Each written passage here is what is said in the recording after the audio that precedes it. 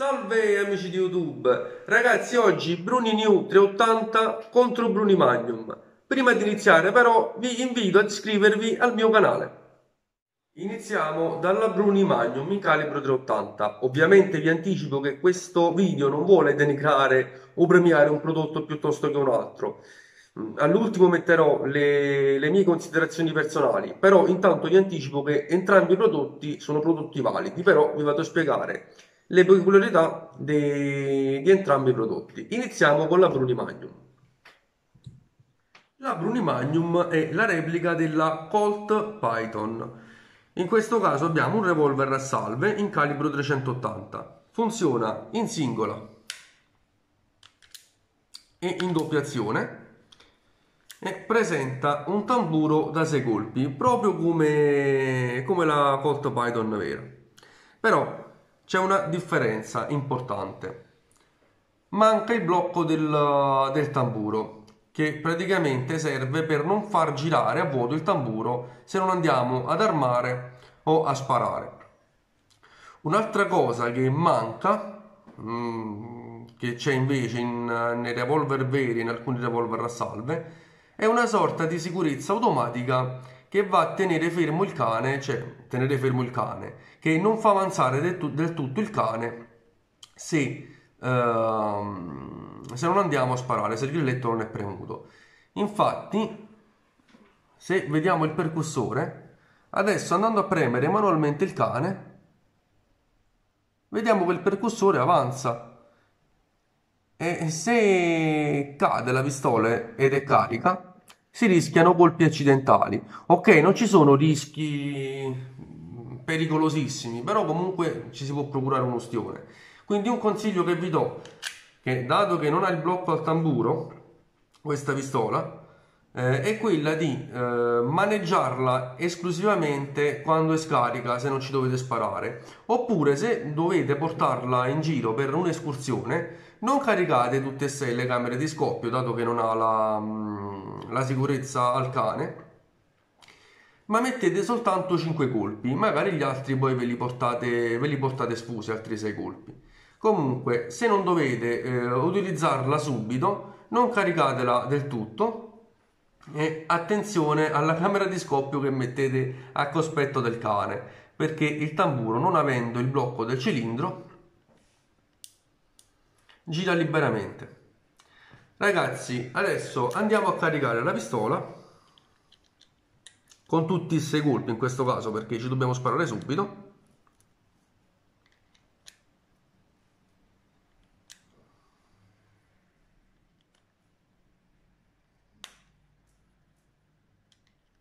A posto. Chiudiamo e seguitemi.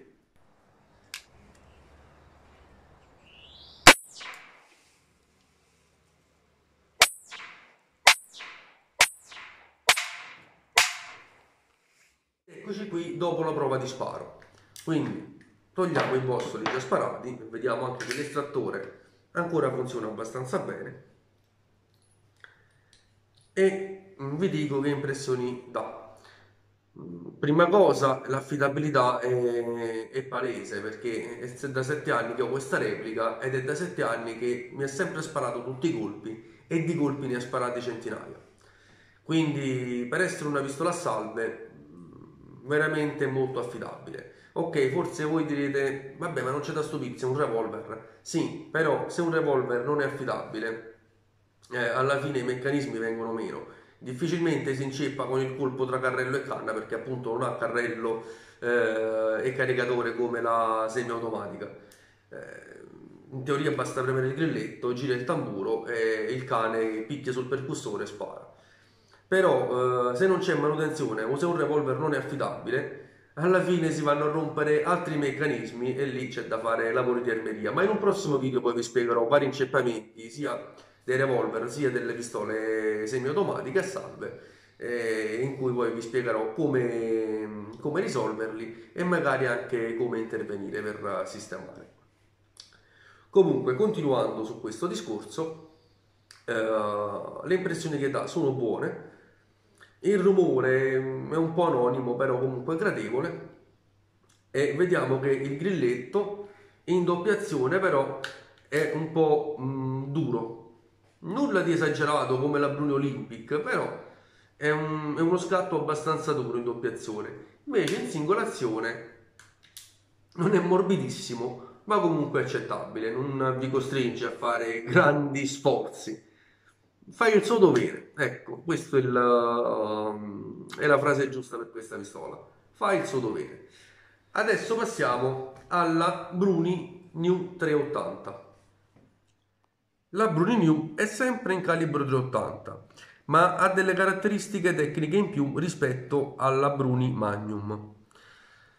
Allora, prima cosa, porta un tamburo da 5 colpi, ma vi vado a spiegare perché anche caricando 5 colpi, eh, se non si deve utilizzare subito, è comunque sicura. Perché, prima cosa, presenta una sicurezza automatica al cane. Quindi, cosa succede? Se non premiamo il grilletto, il cane non avanzerà mai a tal punto da toccare il percussore quindi non può mai permettere lo sparo accidentalmente. Se il grilletto è premuto, invece vediamo che il cane avanza del tutto fino a toccare il percussore. Però guardate cosa succede quando vado a rilasciare il grilletto. Il cane arretra di qualche millimetro, mettendo così la replica in sicurezza. Un'altra caratteristica tecnica in più è il blocco del tamburo o del cilindro. In che cosa consiste? questo perno si va a mettere negli ingranaggi del tamburo. Quindi se noi non premiamo il grilletto, il tamburo da solo non può girare. Di conseguenza eh, è ancora più difficile che ci siano spari accidentali.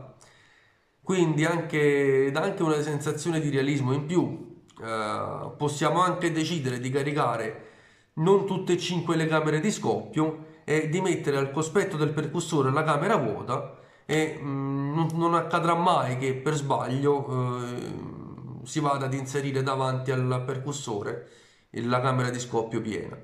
Quindi ha molte caratteristiche tecniche in più. L'affidabilità nel tempo, ragazzi, non, uh, non posso spiegarvela perché ce l'ho mm, da pochi mesi, quindi deve passare qualche anno prima, prima di parlare di affidabilità. Comunque la qualità è ottima. Comunque andiamolo a caricare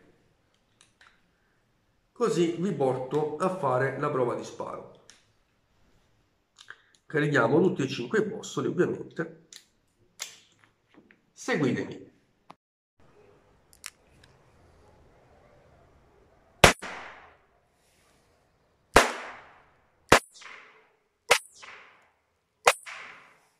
Ed eccoci qui dopo la prova di sparo.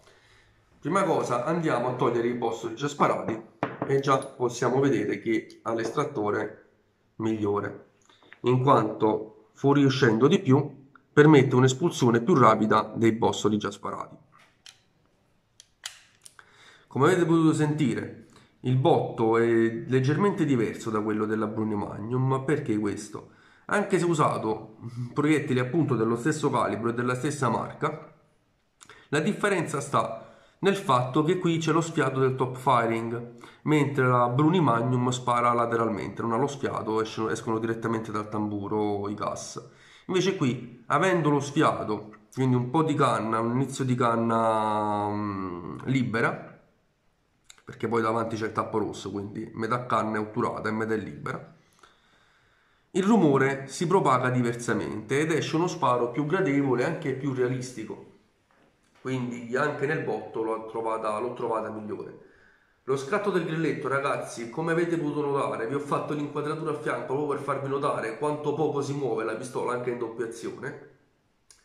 Mm, lo scatto del grilletto, sia in doppiazione che in singolazione, è leggero. In doppiazione fa poca resistenza, essendo un revolver non può essere morbido come quello di una semiautomatica. Ma in singolazione, ragazzi, basta veramente una minima pressione e subito permette lo sparo. È veramente fatta bene ed è di ottima fattura. Adesso vi vado a spiegare, secondo me, qual è la migliore. Ragazzi, premetto che entrambi i revolver sono molto validi, sono prodotti veramente fatti bene.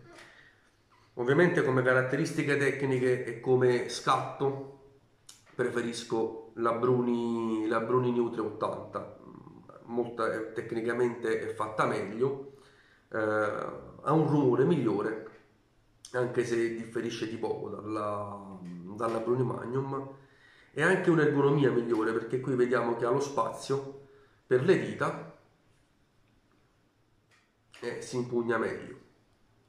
Invece questa qui l'ergonomia lascia un po' a desiderare nella Bruni Magnum, perché è vero che è bello il calcio in legno, però non avendo delle zigrinature eh, può risultare scivoloso in più di qualche escursione, infatti eh, un po' lo scatto leggermente duro e, e un po' l'impugnatura completamente liscia. In doppiazione mi hanno creato qualche problema. Però ovviamente una pistola assalto non è che dobbiamo mirare quindi che si muove un po' di più non è un problema.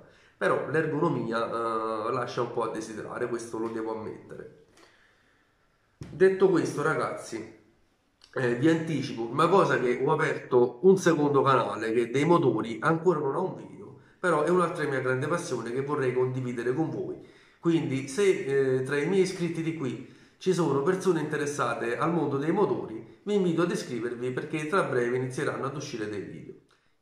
Se il video è di vostro gradimento mettete un like e iscrivetevi. Un saluto al prossimo video. Ciao